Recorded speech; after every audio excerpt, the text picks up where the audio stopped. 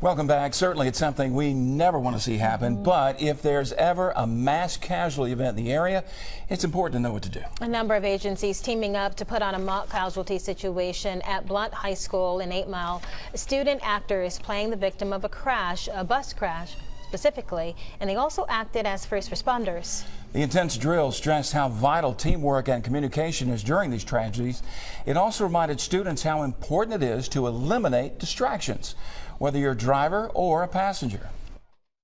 A lot of kids don't understand that drinking and driving or also just playing on a bus can be very, very hurtful. It can cause a lot of wreckage. Ah. Say they're grateful for that hands-on experience. Educators plan to put on the event every year with a different scenario, they say.